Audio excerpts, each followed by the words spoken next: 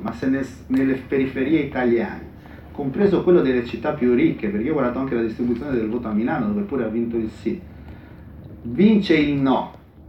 e voi vedete che la macchina diventa sempre più forte il no, tanto più ci si allontana dal centro,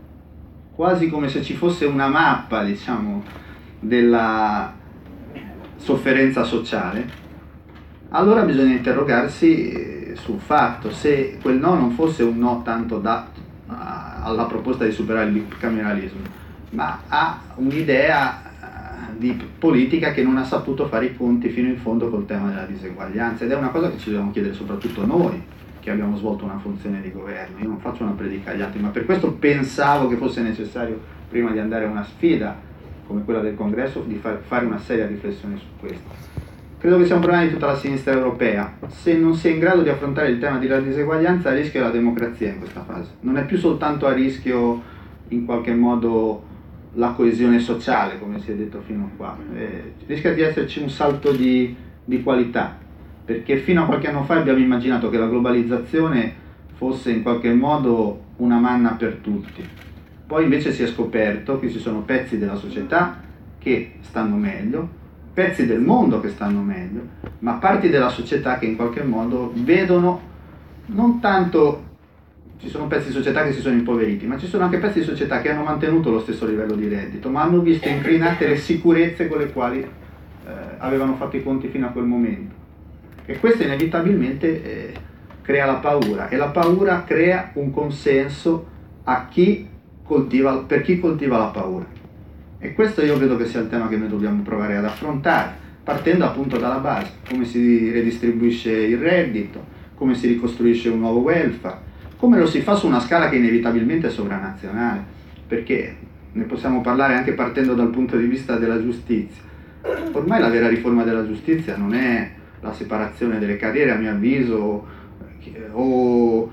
questo o quell'assetto della giurisdizione. La vera riforma della giustizia è costruire una giustizia che sia sovranazionale, perché gran parte delle questioni che ormai riguardano le nostre società, che mettono in pericolo la tenuta sociale della nostra società, anche dal punto di vista del crimine, anche dal punto di vista del diritto civile, sono ormai questioni che sono sovranazionali. E noi continuiamo ad avere invece delle istituzioni eh, della giustizia che sono soltanto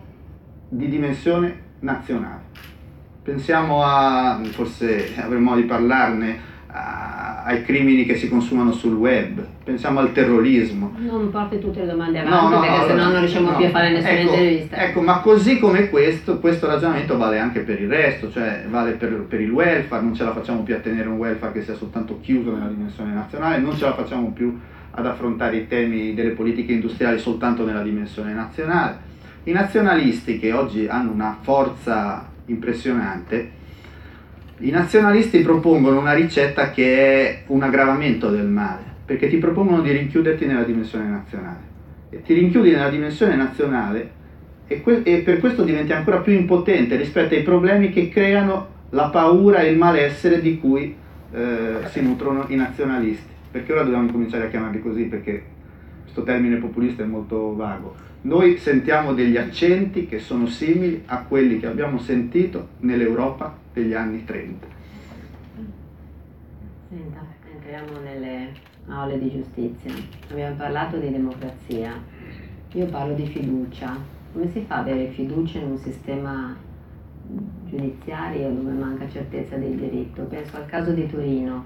dove una bambina è stata stuprata a sette anni, il processo durato vent'anni il reato si è prescritto. La giudice si è scusata e lei ha mandato l'ispettore. Il tema è però chi ne risponderà e che, chi risarcirà questa bambina di questo, ormai ragazza, 27 anni, di questo danno.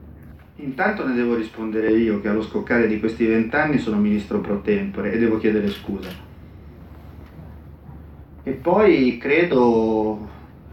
ne dovrebbe rispondere complessivamente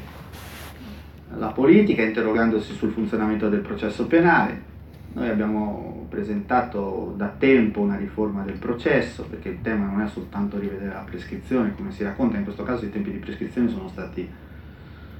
molto lunghi perché avevamo un raddoppio dei termini di prescrizione dovuto a un intervento normativo su questo punto. Avevamo e abbiamo di fronte il tema di come funziona il processo penale. In quella legge secondo me ci sono le risposte, per quello sono contento che oggi sia stata calendarizzata, mi auguro che sia la volta buona, perché il processo penale, su questo sono molto d'accordo col presidente dell'ANM, si dovrebbe occupare di cose serie e quindi dovrebbe concentrare l'ambito della propria eh, azione. Il diritto penale è un bene limitato, non possiamo utilizzarlo per ragioni propagandistiche. Il processo va rivisto guardando che cos'è mera dilazione e che cos'è effettivamente garanzia e poi io credo che ci sia un problema diciamo, di organizzazione degli uffici e su questo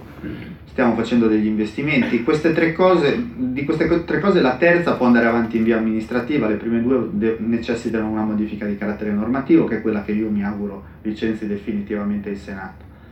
E poi c'è la vicenda specifica, in questa vicenda specifica qualcosa non ha funzionato per cui io ho ritenuto, anzi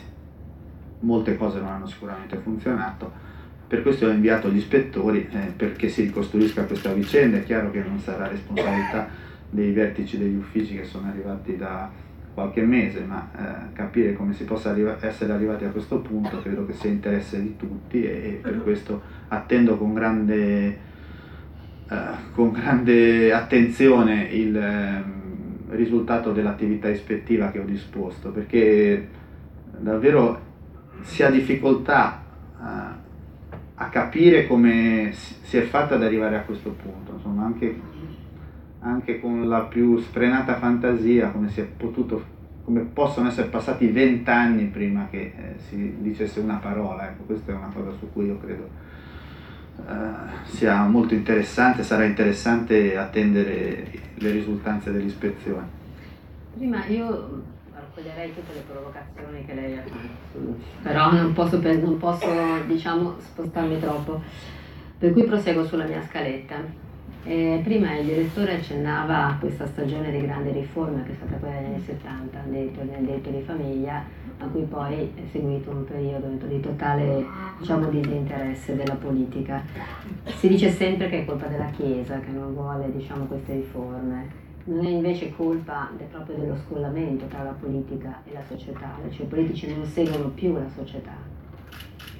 Ma intanto io devo dire che ehm, questa stagione è una stagione da questo punto di vista che va valutata positivamente perché gli interventi che si sono succeduti nel corso di questi anni a, a cavallo delle due, eh, delle due legislature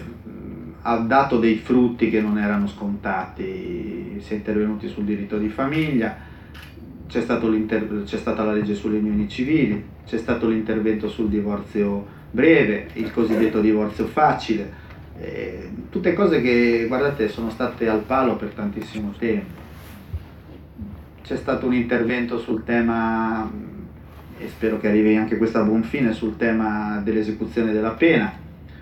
tutte cose guardate un po' fatte controcorrente perché in verità la società non è una società che in questo momento guarda prevalentemente al tema della cifra di libertà. Questa è una società nella quale tutte le volte che affronti questo tema hai una risposta rancorosa, quindi sono state fatte delle cose secondo me coraggiose, io lo dico avendo contribuito in parte, e devo dire in questo, vedete quando si parla di demonizzazione, in questo io penso che il Presidente del Consiglio Renzi abbia svolto un, un ruolo molto importante perché ha voluto che alcune cose arrivassero in fondo. E ha detto una cosa che io non solo gli riconosco ma che credo sia stata abbia costituito un passaggio importante, ha detto a un certo punto io ho giurato sulla Costituzione non ho giurato sul Vangelo e questa è una cosa che non era affatto scontata in questo momento. Penso eh, che in verità però il problema non sia la Chiesa, sono quelli che ritengono di essere gli interpreti della Chiesa, perché a mio avviso sono spesso, diciamo, un po' arbitrari ecco, nel, nel loro modo di interpretare il presunto punto di vista eh, il presunto punto di vista della Chiesa. A volte hanno anche delle vite diciamo non compatibili con la Chiesa e con quello che vogliono e che vogliono sì, però per gli a me interessa, a me anche questa vede una, una cosa della quale dovremmo prima o poi liberarci. Mm. Guardiamo quello che uno dice e non chi lo dice, se ha un senso o no. E quello che mi interessa è che non ha senso, quello che molti